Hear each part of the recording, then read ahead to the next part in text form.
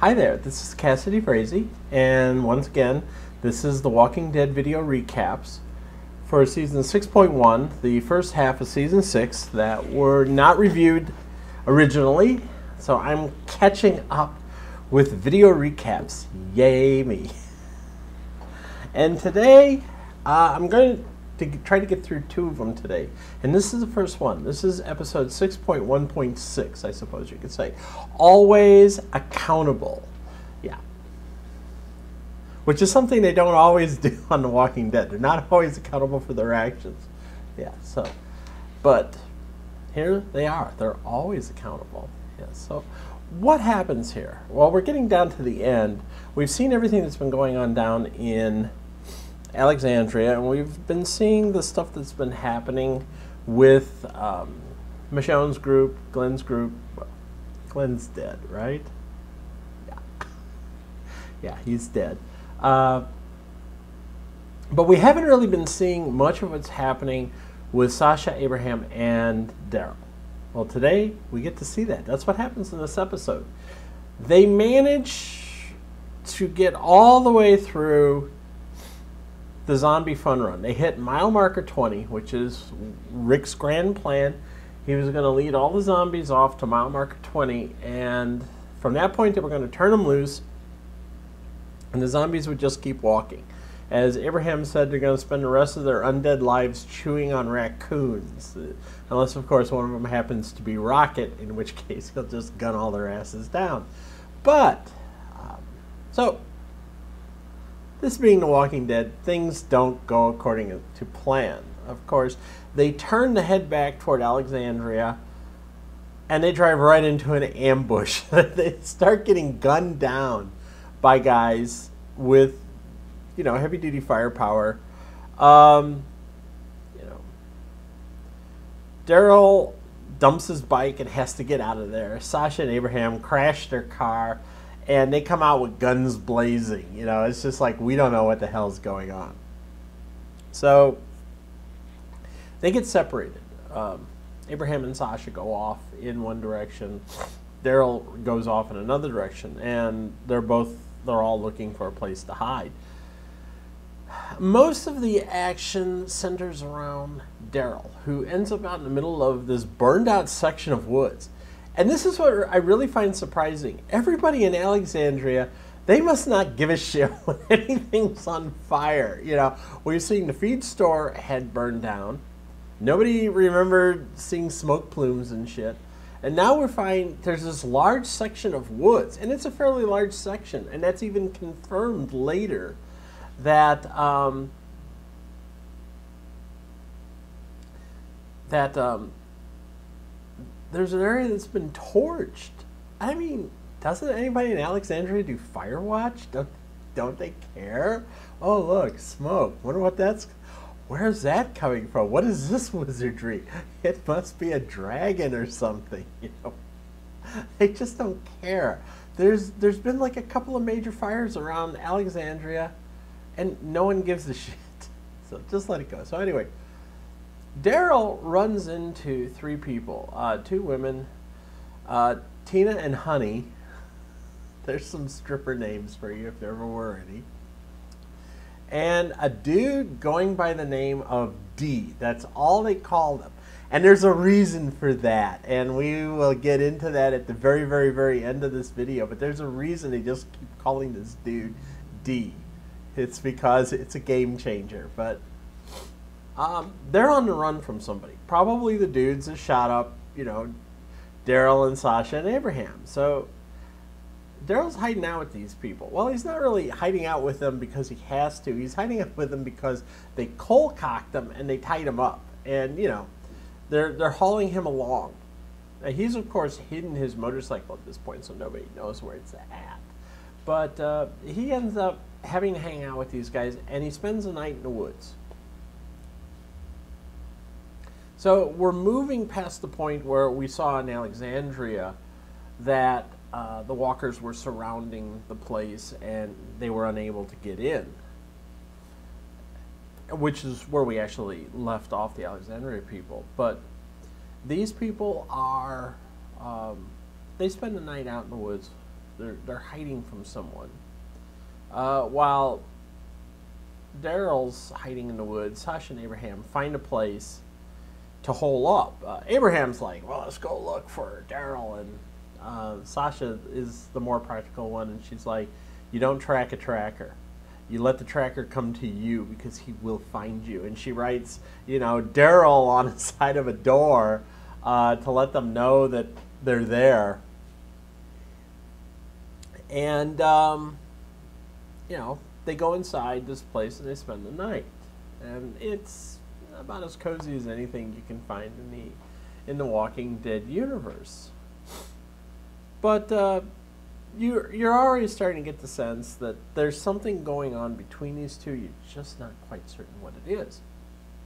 Well, getting back to Daryl and the the lovable idiots that he's with, you find out that they're looking for this woman by the name of Patty.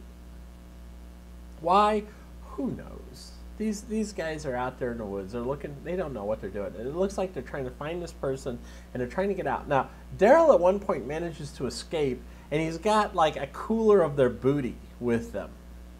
So he gets away from them and he opens it up, and what's in there? Insulin. One of the girls is diabetic and she needs her insulin shots. Now, you have to start wondering by this time, you have to have a pretty good infrastructure in place for anyone who's, you know, seriously diabetic to the point where they need insulin shots, that they're still able to survive. Uh, by now, most of the insulin, unless you're keeping it, you know, refrigerated or it happens to be that newfangled stuff that uh, you actually can keep at room temperature, uh, most of the people who are di- seriously diabetic like that have probably died by now. So this is a serious thing. It's going to cause Dee and the two girls to come looking for Daryl. And eventually he comes back with it and says, hey, look, you know, I've got this stuff for you. What's going on? You know, he's essentially willing to leave this stuff and go on his merry way. But of course, he can't do that because the dudes that are looking for these three people, of course, at this point show up. And Daryl decides to hide with these other fools. He manages to set up a, a Walker Walker zombie uh, ambush where one dude gets bit on an arm, you know, and of course, it becomes um, extremely um, obvious that they also know the will chop off your limb trick so that uh, people don't die from a zombie bite because the whatever it is that's in the bite that triggers a supermassive infection hasn't had a chance to spread through your bloodstream.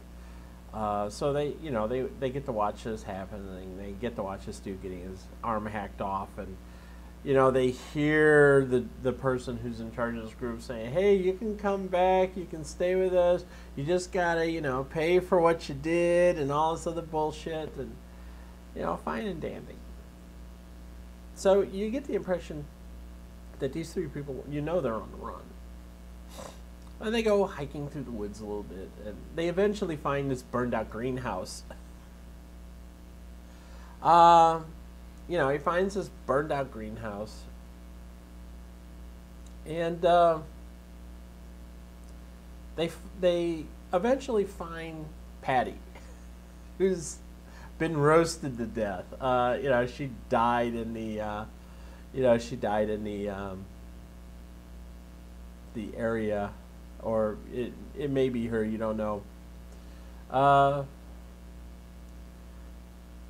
but what ends up happening is Tina, who is the diabetic, and hey, guess what? I have a diabetic friend whose name is also Tina, but I don't think this is her.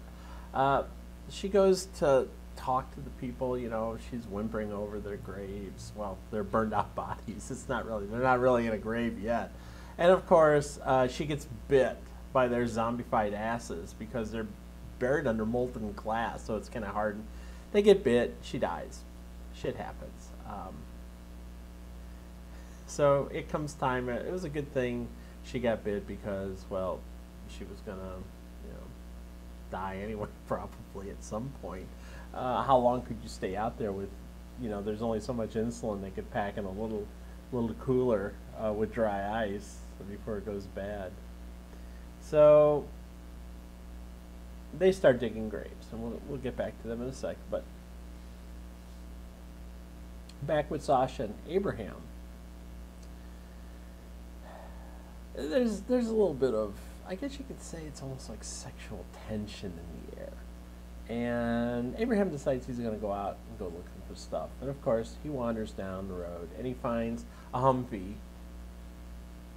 And he also finds a soldier who's, you know, stuck on uh, a like a pole. Uh, you know, they have these poles that they put up for wire meshes on bridges so people don't decide to jump off of them and kill themselves or throw themselves in front of trains and stuff like that. And uh, he has an RPG launcher strapped around his body. Rocket propelled grenades. Okay, well, you know, when you see a rocket propelled grenade launcher, the, we could almost call this Chekhov's launcher. You know, you see it, and of course, Abraham wants it. He also finds boxes of cigars, which he lights one up and he's having a good old time. And you can see sort of the things going on. You know, something's working in his mind. Uh, this is one of those things where you know Abraham's still not quite over the whole Eugene thing. And he considers climbing out there to get the RPG with the walker there, and that doesn't happen. So he's, he's sitting back on the Humvee, smoking his cigar and stuff, and the walker's getting agitated, and of course he's been rotting a while. So he starts to slip through this pole. It's just digging through his body, and eventually he falls to the ground. You hear this big wet splat of his body hitting the ground, and there's the launcher. Like I said, Chekhov's launcher. Now that you've shown this RPG, and you've shown it to be there, you know something's going to happen with it. Usually it's going to get used. Do not show the RPG unless you intend on using it in like further on down the line. So you know this is going to happen. And Abraham goes back with the RPG. Not only with the RPG, but he goes back with this uniform he found. He's like, I'm I'm back playing Soldier Boy. He, he's he's feeling comfortable and he finally admits to Sasha that, well, as he said, I, I like the fact that there's no bullshit about you. A greater romance has never started with better words. Uh, he's basically saying that he'd like to get to know Sasha a little better. That he knows she's not entirely crazy anymore. That he's gotten over his craziness. And he's willing to, like, see if the possibility of a relationship could exist between them. Sasha's not exactly digging this, but she's not exactly pushing him away either.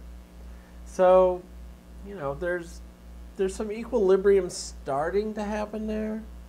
Not quite yet, but it's it's it's fermenting, I guess you could say. Meanwhile, Daryl's back digging graves so they can bury Tina. And he starts up with the recruiting questions. How many people you killed? How many walkers have you know, how many how many walkers have you killed? How many people have you killed? Why? So he's thinking, hey, I can take these guys back to Alexandria. This is really going to be cool. I don't know how the hell he was going to get two other people on his bike. But they go back to his bike. And of course, as soon as he gets the bike out and he gets it up and everything, boom. You know, he realizes I'm being punked. And there's D, the big D, pointing a gun at him. You know, and it's like, give us the bike. He gives him the bike, and it's it's also like, give us the crossbow.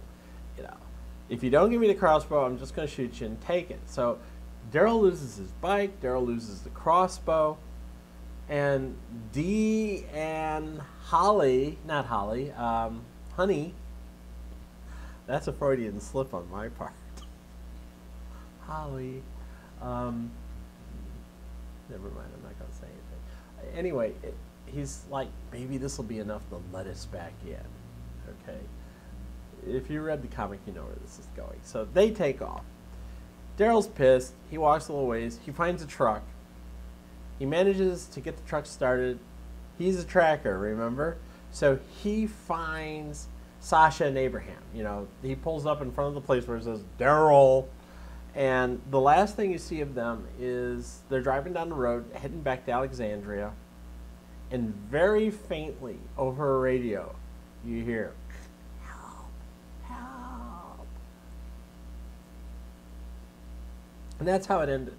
We're getting a lot of setups as we go along uh, in the shows. And this episode set up a shitload of stuff. So, as we always like to say, make sure you get your big girl panties on because spoilers be happening. And from this point on, I'm going to talk spoiler stuff. So if you don't want to hear it, just click the video off, go away. Uh, thank you for watching, and you can catch me in the next recap, okay? But for those of you who are wearing your big girl panties, I am, because quite frankly, I'm a pretty big girl. Uh, here's what happened. Uh, the reason they won, the the people who shot up our group, Sasha, Abraham, and Daryl, is they're the saviors, and we know who the saviors are because we're already beginning to see them. They're going to play a prominent part in the later half of season six. They're Negan's group. So this is really the first introduction we've had to Negan's people. No names mentioned until, of course, you get to the very last episode and you hear the name Negan. But that's who these guys were. It was Negan's people. D, Big D, is a guy by the name of Dwight. And Dwight is a big guy in Negan's organization. He's very big. Well, up to a certain point. But um, what's really important about the whole interaction between D, aka Dwight, and Daryl is that if you read the comic, you know Dwight kills a major character with a crossbow. Oops. So that got set up. Dwight kills a major character with a crossbow. Okay. Now we know what's going to happen. That's been set into motion. Going back to Abraham and Sasha. Remember I talked about the death of Holly. And back in back in um, Alexandria, and I said that's going to have repercussions down the line. Holly ends up hooking up with Abraham. Uh, in the comic, Abraham saved her life, just like he did in the TV show. When they were attacked by walkers at the construction site, he saved her life. Well, here she dies. So, who picks up the mantle of Holly? It looks as if Sasha is going to be the new Holly. And case, except in the instance where maybe Sasha's going to die. We don't know yet. It's being teased. There's a lot of teasing going on that Holly may die, yeah, not Holly, uh, Sasha may die sooner than we expect. We don't know uh, because she's actually filmed a pilot for another TV show. So there's a possibility she may not be on The Walking Dead much longer. But anyway, they're sort of throwing Sasha into this role of Holly. And again, if you know the comic, Holly plays an important part in the death of another character. Um, you know, shit just happens.